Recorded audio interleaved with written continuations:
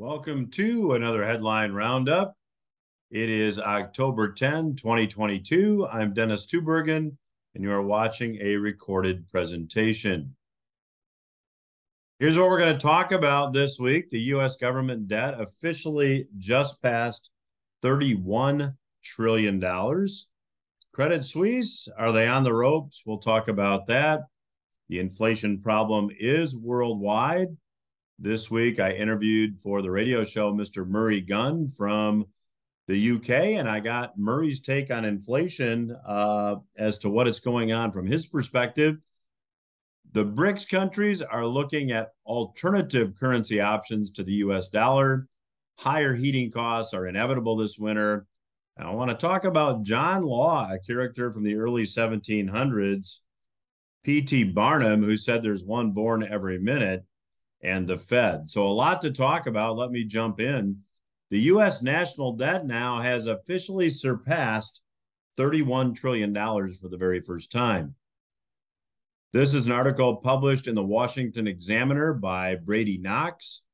The national debt of the United States blew past $31 trillion for the first time ever Tuesday a grim milestone that comes amid soaring interest rates that threaten to strain the government's finances.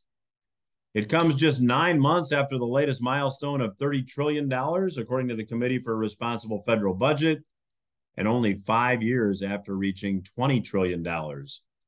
The unprecedented spree of government borrowing brought forth by the COVID 19 pandemic and further borrowing to stimulate the economy has helped contribute to the majority of this figure.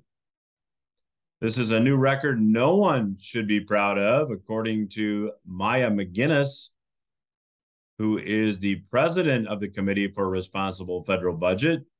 In the past 18 months, we witnessed inflation rise to a 40 year high, interest rates climbing in part to combat this inflation, and several budget busting pieces of legislation and executive actions.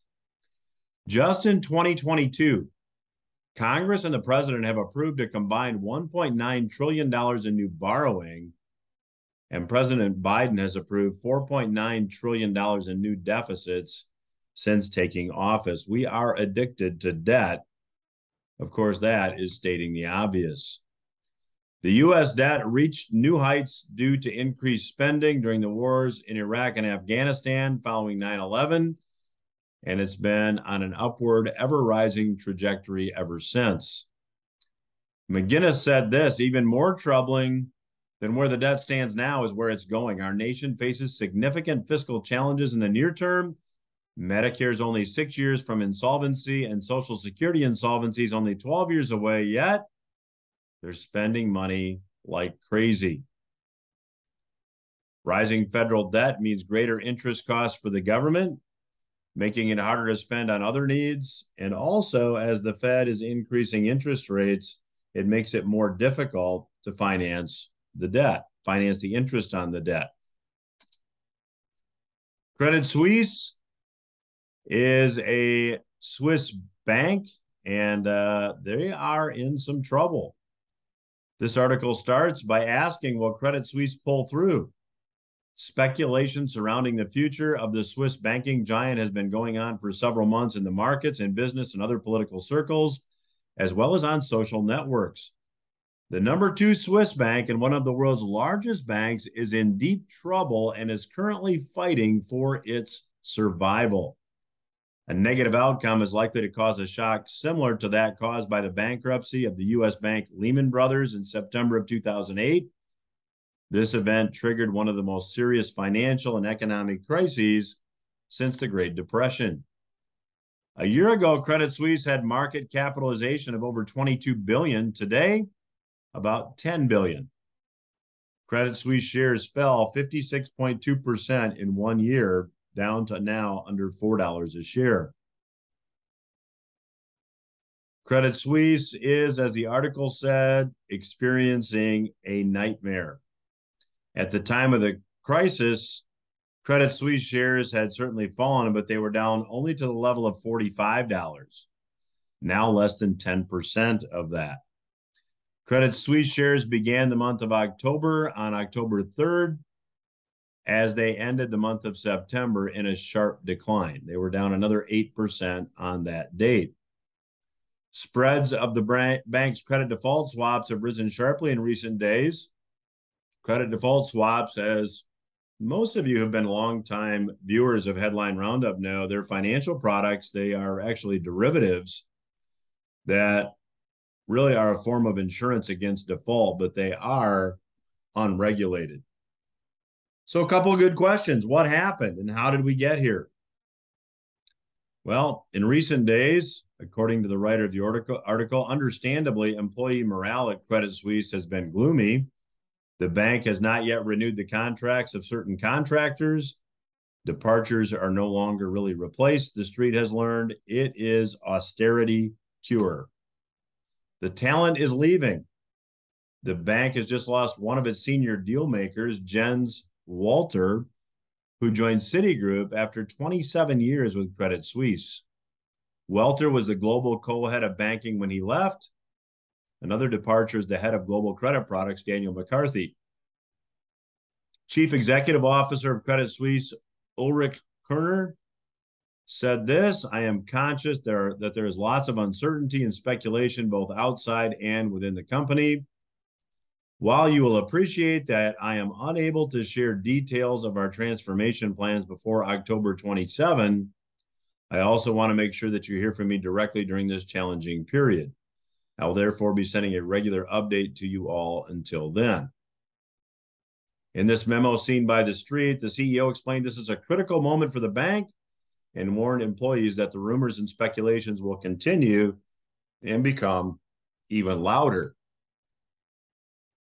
Now, the inflation that we're all experiencing is not just in the United States. Arguably, Europe is experiencing similar inflation. This article by the Associated Press, published September 30, said inflation in the European countries using the euro currency has broken into double digits as prices for electricity and natural gas soared, signaling a looming winter recession for one of the globe's major economies as higher prices undermine consumers' spending power. Consumer prices in the 19 country Eurozone rose a record 10% in September from a year earlier, up from an annual 9.1% in August. European Union Statistics Agency Eurostat reported this on Friday. A year ago, inflation was only 3.4%.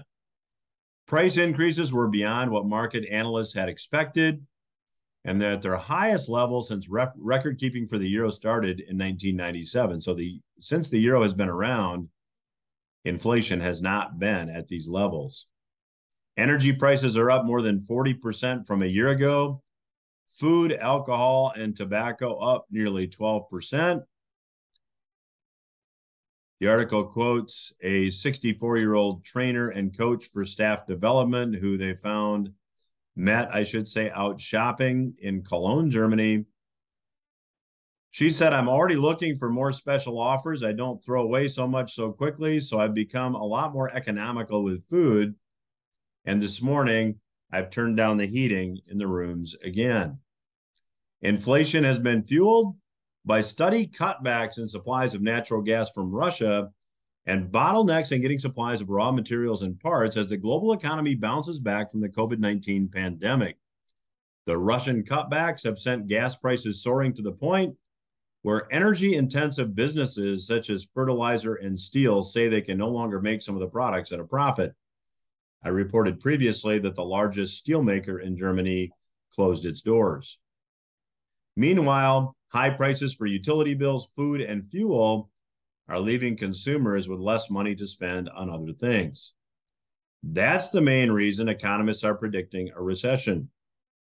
I believe Europe and I believe the United States, as I have indicated, are probably already in recession. In fact, here in the US, we have already met the technical definition of a recession. The European Central Bank is raising interest rates to combat inflation uh, however, they are not raising interest rates fast enough, just like the Fed, to make any significant difference, in my view. Jessica Hinds, who's a senior Europe economist at Capital Economics, said that the recent inflation reading was likely to be a matter of, quote, grave concern for the European Central Bank. They have their next meeting coming up, incidentally, October 27. Higher interest rates make it more expensive for people and businesses to borrow, invest, and spend. That dampens demand for goods. And what we're not talking about here is not only are um, interest rates um, going up, prices are going up as well. So it's a double whammy. This is a debt driven recession versus an inventory driven recession.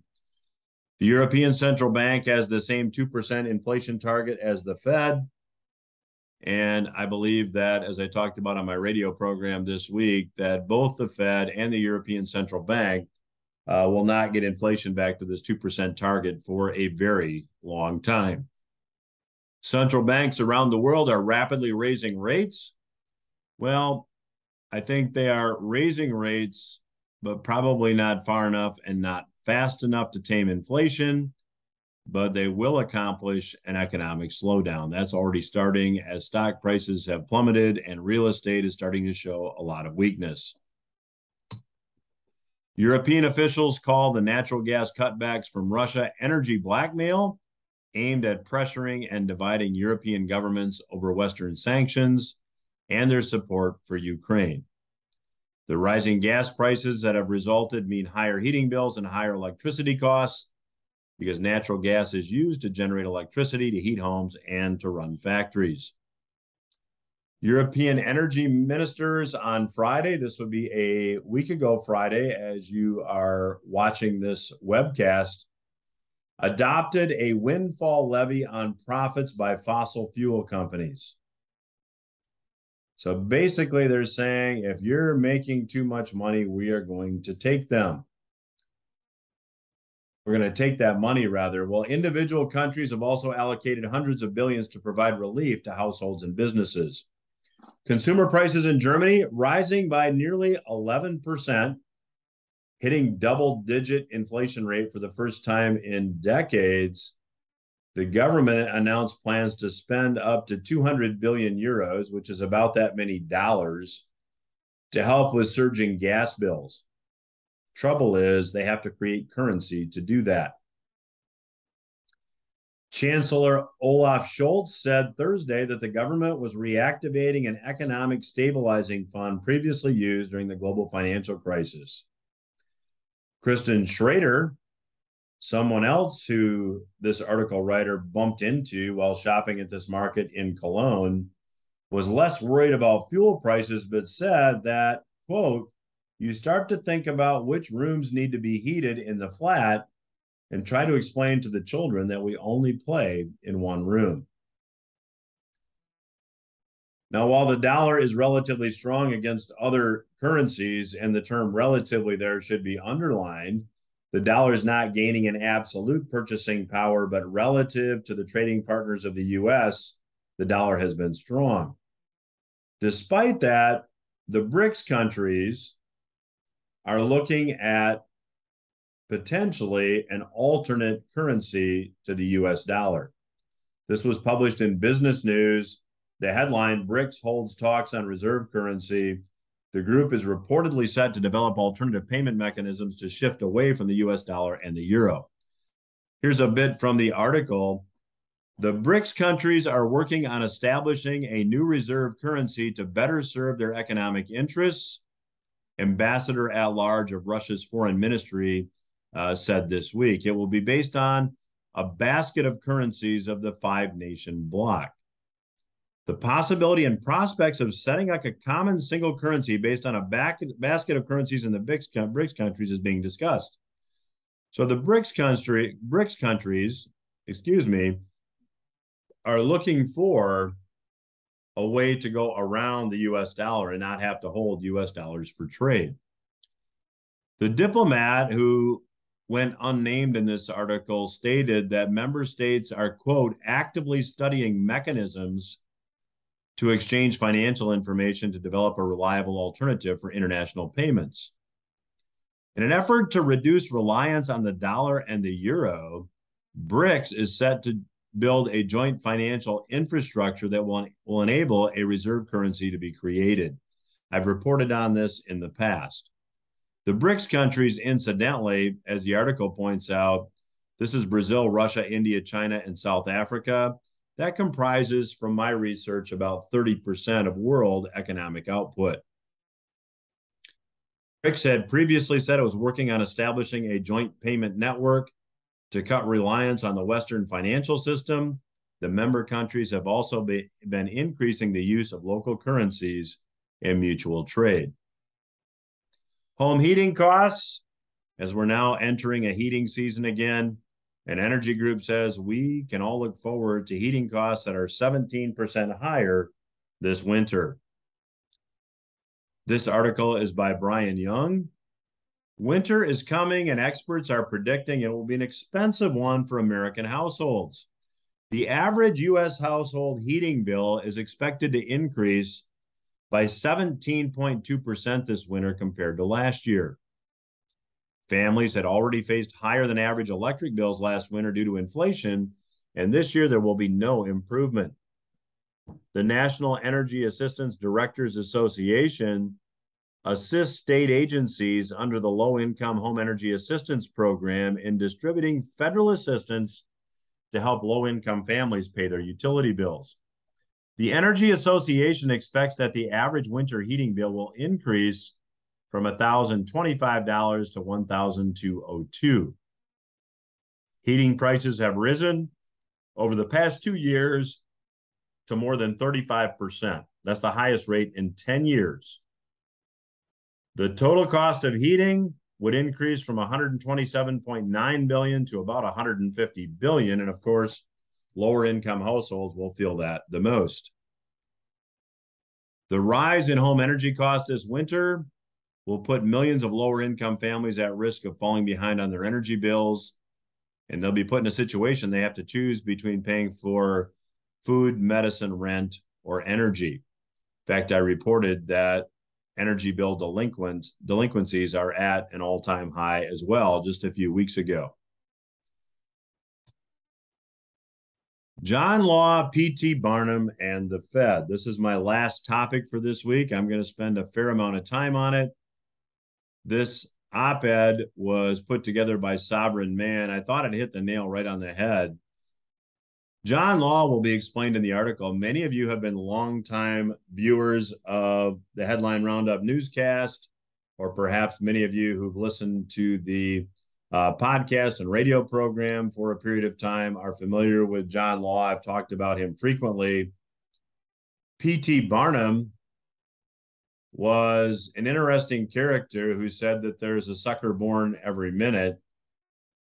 And I threw in PT, PT Barnum because as I read this, his name popped to mind. And of course, we'll talk about the Fed. Sovereign Man started by saying the people who engineered record inflation now want to control cryptocurrency. And there's a huge parallel here to John Law. And as I've often stated, those who don't study history are doomed to repeat it so I want to give you just a bit of the backstory here because there are many parallels and it's educational. On the 1st of May in the year 1716, a swashbuckling Scottish entrepreneur was making the pitch of a lifetime to the head of the French government in Paris. Now, this guy's name was John Law. By all accounts, he was an incredibly charismatic guy. He had a flamboyant, larger than life personality. In fact, he ended up in Paris after he left London under suspicious circumstances after he was sentenced to hang because he was sentenced to a he was sentenced to death for shooting an opponent in a duel that came about as a result of his womanizing. So a very very interesting character. Sovereign Man said he was something like Adam Neumann, formerly of WeWork, the kind of person who could talk anyone into anything. And that certainly uh, is congruent with what I have read and studied about John Law. Now, John Law was pitching an entirely new financial system. King Louis XIV had just died. France was in terrible ruin because Louis XIV, although he was a popular king, he was popular because of his giveaways that were funded by accumulating debt, not unlike where we find ourselves today. The situation was dire. It was so dire, in fact, there were hard there was hardly any gold left in the French treasury. So the new head regent of the government was desperate for a solution. Law, who I have researched, met the Duke actually gambling in Paris.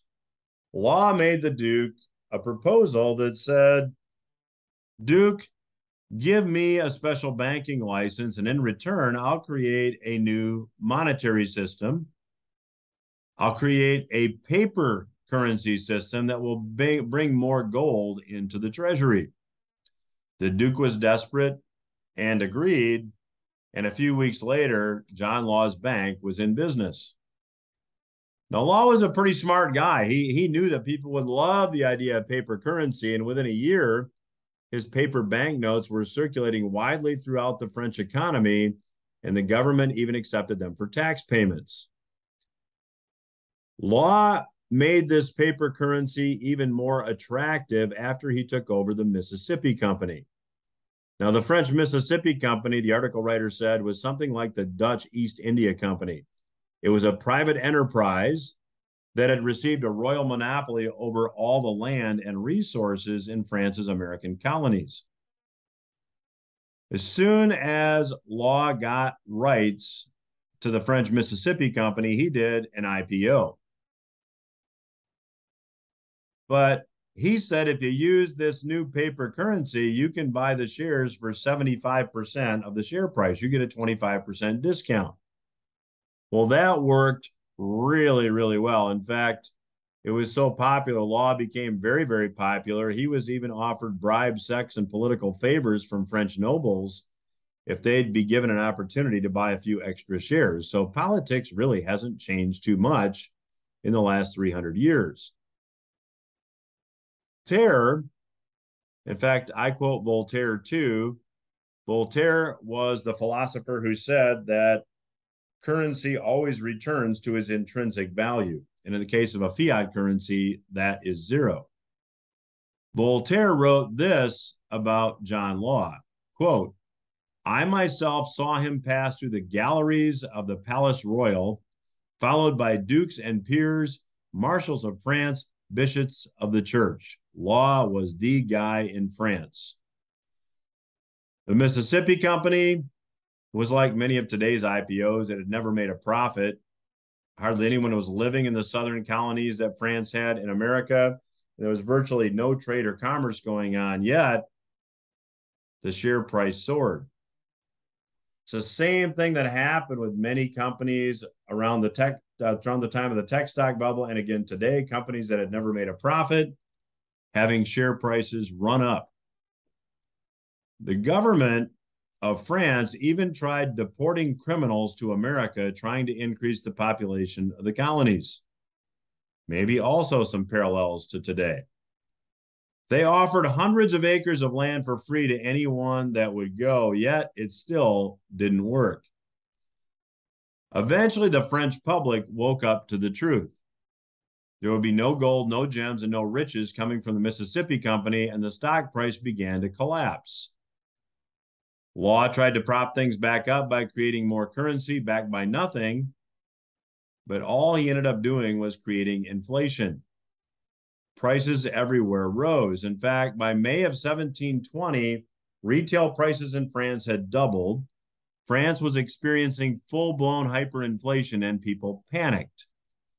They began to feverishly sell off their Mississippi Company shares and trade their paper currency for any real asset they could get their hands on. Now, there are some examples here as well, but suffice it to say that this currency creation led to massive inflation. Well, at the peak of all this insanity, the French government gave John Law a promotion. He became the Controller General. In other words, the guy who created the biggest financial bubble in French history was now put in charge of the government's finances. Now, here's the parallel there were a group of central bankers discussing cryptocurrency at a recent conference in Paris. The heads of the US Federal Reserve and the European Central Bank participated in a, in a panel discussion that, for anyone who actually understands crypto, can only be described, described as hilarious.